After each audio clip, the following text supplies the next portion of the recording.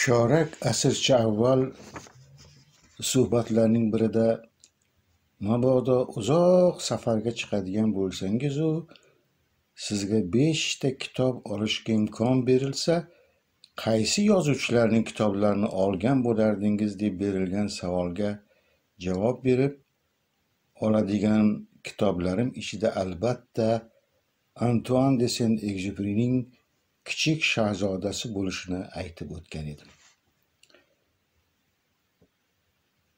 Qolaversa ungacha umuman shu kitob haqida o'ylaganda biz o'sha yoshlik paytlarimizda bu kitobni o'zbek tiliga taniqli mashhur xonanda botir zokirov tarjima qilganini eshitgan edik.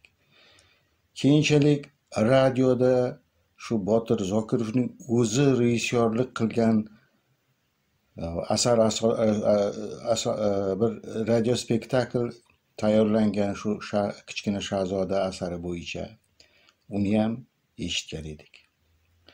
Ammo kichkina shahzoda kitobining ilk marta o'zbek tiliga kitob holatda nashr etilishiga qaytadigan bo'lsak bu mening tashabbusim bilan amalga oshirilgan edi. O'sha paytlarda men yosh gvardiya nashriyotining badiiy adabiyot bo'limining mudiri edim. Albatta endi boshliq bo'lgandan keyin birinchi navbatda o'zim yaxshi ko'rgan asarlarni o'zbek tiliga tarjima qilishni o'ylaganman. Mana shu istak natijasida mixail bulgakovning usta va margaritasini yetuk tarjimon qodir mirmuhammedovga sent egzyuperining tungi parvozini ahmad a'zamga kichik shahzodasini xayriddin sultonovga berib tarjima qilib berishni iltimos qilgan edim.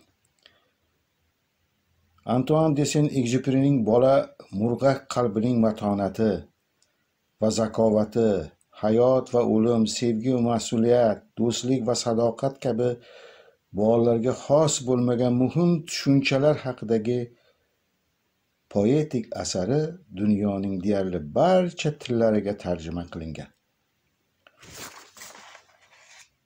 Bu asarni yozuvchi ikkinchi jahon urushi avjiga chiqqan kunlarda yoza boshladi. Yozuvchi bu qayg'uli ertakni o'zining beshafqat zamonasiga qarshi qo'yadi. Men juda og'ir qayg'udaman. Yuragim ezilib ketdi deb yozgan edi. O'sha kunlarda do'stiga yo'llagan maktublarining birida. Men insonga xos bo'lgan fazilatlardan mahrum avlodni ko'rib qayg'uryapman. Butun vujudim bilan o'z zamonamdan nafratlanaman. Bu zamonada inson tashnalikdan xalos bo'lishga mahkum. Meni qurshab turgan dunyoda faqat bir muammo bor. Odamlarga hayotdan ma'naviy qoniqish hissini qaytarish kerak. She'riyatsiz rangin bo'yoqlarsiz muhabbatsiz yashashning qizig'i yo'q. Biz naqadar tumanlashib ketganimizni anglamoq uchun o'n beshinchi asrda oddiy dehqonlar kuylagan qo'shiqni tinglashning o'zi kifoya.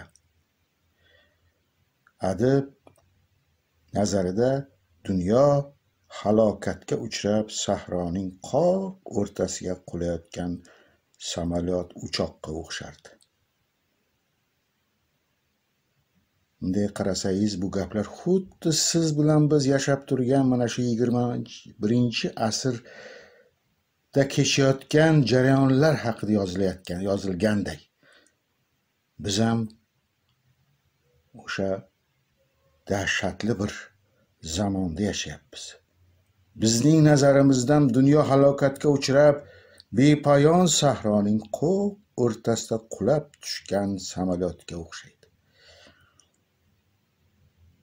Han jibri asarning boshida yozadi. Olti yil muqaddam samolyotimning motori buzilib sahroyi kabirga qo'nishga majbur bo'ldim. Yonimda na mexanik na biron bir hamroh bor edi.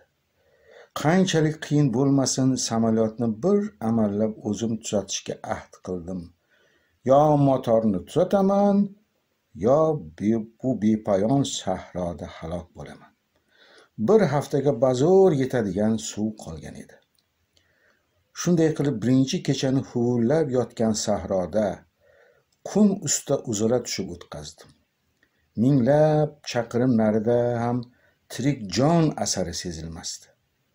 Kemasi halokatga uchrab bepoyon okeanda sol uza suzib borayotgan odam ham menchalik yolg'iz bo'lmagandir. Shu bois tong saharda meni kimningdir ingichka ovozi uyg'otib yuborganda naqadar hayratga tushganimni tasavvur ham qilolmasangiz kerak. Iltimos menga qo'zichoq chizib ber degan qo'ng'iroqdek tovush yangradi yonginamda. A deb yubordim. Kutilmagan bu tovushdan. Menga qo'zichoq chizib ber tepamdan go'yo yashin tepamdan go'yo yashin urgandek sapchib o'rnimdan turdim. Apil tapil ko'zlarimni ishqalab atrofga alangladim qarasam ro'paramda allaqanday g'aroyib bir bolakay menga jiddiy tikilib turibdi. Men kichkina shahzoda bilan shu taraqa tanishdim. Kichkina shahzoda yolg'iz o'zi yashaydigan sayyoradan kelib qolgan edi. Yer uning qadami yetgan yettinchi sayyora edi. Kichkina shahzoda sayohati davomida duch kelgan olti sayyorada yashovchi odamlarning har biri bir ramzga bir timsolga ega. Ularda faqat katta odamlarga xos fazilatu kamchiliklar mujassam edi. Kichkina shahzodaga yerda uchragan birinchi tirik jonzot ilon bo'ldi. Ilon qadim xalqlar nazarida donishmandlik ramzi bo'lib bu xalqlar mifologiyasida asotirlarida juda muhim o'rin egallagan. Antuan de sent egzyupri ertagidagi ilon ham ana shunday vazifani bajaradi. Asardagi ikkinchi muhim ramziy obraz tulki. Tulki kichkina shahzodaga xalq ertaklaridan kirib kelgan bo'lsa ajabmas. Chunki yevropadagi ba'zi xalqlar ertaklarida tulki ko'proq oddiy odamlarga xos donishmandlik timsoli bo'lib gavdalanadi. Tulkining so'zlarida sent egzyuperi butun ijodi davomida targ'ib qilgan ishonch ramzini ko'ramiz. Biron bir narsani anglash uchun uni qo'lga o'rgatish lozim. Qo'lga o'rgatish esa hamisha o'zaro rishtalar bog'lamoqqa olib keladi. Bu degani qo'lga o'rgatilgan jonivor yoki odam bizga qanchalik muhtoj bo'lsa biz ham unga shunchalik muhtojmiz. Chunki eng avvalo ularni qo'lga o'rgatganimiz uchun javobgar bo'lamiz. Ha gap faqat qo'lga o'rgatishda emas yaxshi yaxshi ko'rib qolishda ya'ni muhabbatda deb uqtirmoqchi bo'ladi bizga egzyupri faqat ko'ngil ko'zigina ochiq. Eng asosiy narsani ko'z bilan ko'rolmaysan. Tulkining kichkina shahzodaga aytgan bu so'zlarida ana shu muhabbat asosini ko'ramiz. Ertakdagi uchinchi ramziy obraz kichkina shahzodaga o'z sayyorasida avaylab e, kichkina shahzodaning o'zi o'z sayyorasida avaylab o'stirgan feruzagul bu mag'rur va o'zboshimcha gul kichkina shahzodaga ko'p tashvish keltirgan. Uni ne ne azoblarga duchor qilgan. Hatto uning o'z sayyorasidan ketib qolishiga sabab bo'lgan. Bu ayriliq juda og'ir kechadi. Chunki kichkina shahzoda feruza gulni behad sevardi. Egzyuperi ijodi va hayotini o'rgangan adabiyotshunoslar adib ana shu gul timsolida suyukli xotini konsuelo de sent egzyuperini tasvirlagan degan xulosaga kelgan. Adibning shaxsiy hayotda ro'y bergan ko'p qiyinchiliklar kichkina shahzoda bilan feruza gul o'rtasidagi munosabatlarda aks etgan bo'lishi ehtimoldan uzoq emas. Donishmand tulki kichkina shahzodaga yana bir muhim gapni aytadi. Odamlar ya'ni kattalar bir haqiqatni unutdilar. Ammo sen aslo yodingdan chiqarma. Kimniki qo'lga o'rgatsang o'rgatgan bo'lsang uning taqdiriga hamisha javobgarsan. Unutma feruza guling uchun ham javobgarsan. Aynan mana shu so'zlar kichkina shahzodaning o'z guliga bo'lgan munosabatni o'zgartiradi. U yana sayyorasiga qaytmoqchi bo'ladi. Hatto o'limi oldidan men gulimga javobgarman degan so'zlarni takrorlaydi. Kichkina shahzodaning sahroda halokatga uchragan uchuvchi yonida paydo bo'lib qolishi ham ramziy ma'noga ega. U men seni sevaman. Men sen uchun mas'ulman degan so'zni aytish uchun kelgan edi. Aynan mana shu aytilgan so'z tufayli uchuvchi omon qoladi. Kichkina shahzoda asari tasavvurimizdagi juda ko'p tushunchalarni o'zgartirish quvvatiga ega. Balki biz umr kechirayotgan yer ham o'zimiz o'ylaganchalik ulkan emasdir. Balki bu cheksiz va hadsiz koinotda u kichkina shahzoda yashagan sayyorachilik kelar xolos.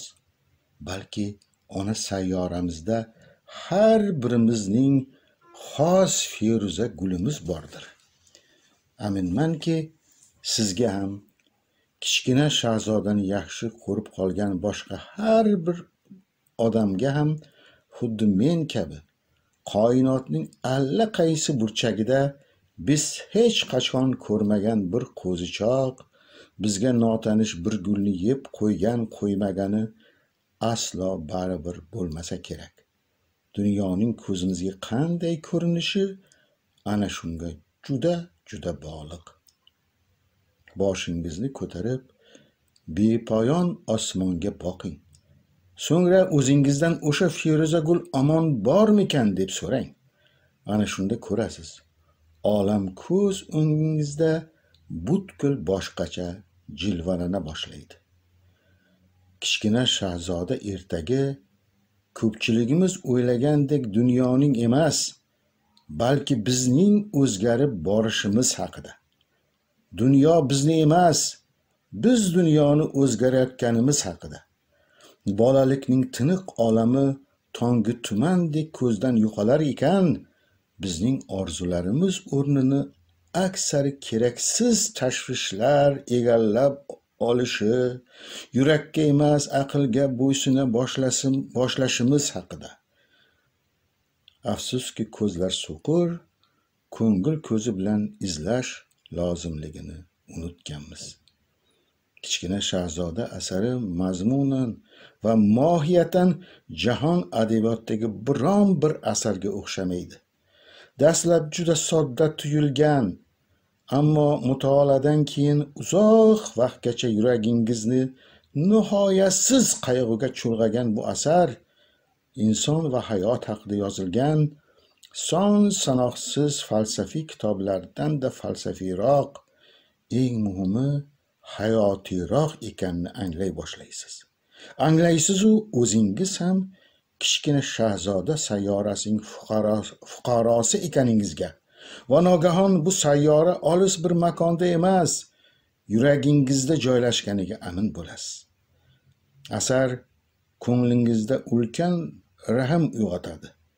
Bu rahm astavval dastavval kichkina shahzodaga tegishliday tuyulsa-da oxir oqibat insoniyatga bolaligini unutgan unutgan va shuning uchun ham shafqatsiz bo'lib qolgan insoniyatga nisbatan rahm shafqatga aylanadi.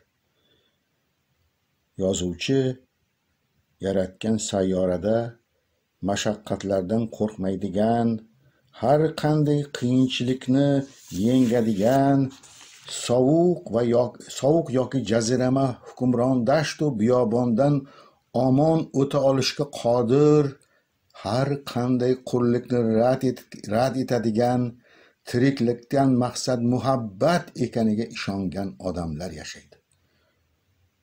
Bu kitobning ayniqsa bugun yuqorida ta'kidlab aytganimdek insoniyat ma'naviy jarlik sari shiddat bilan yelib borayotgan davrda ahamiyati benihoyadir. Uni dunyoning mashhur ammo borligini demakki muhabbatni unutgan siyosatchilariyu millatni millatga dinni dinga insonni insonga qayrayotgan yigirma birinchi asr faylasuflari siyosatchi faylasuflari o'qishini o'qib o'qishini juda juda istardim.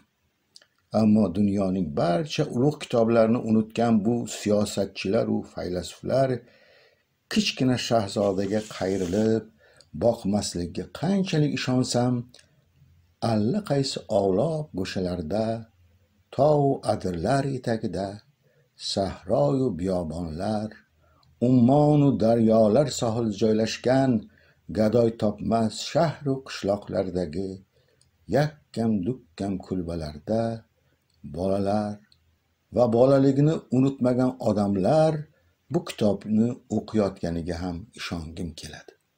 Kitobda bitilganidek faqat yurak ziyrak. Eng muhim narsani ko'z bilan ko'rolmaysan.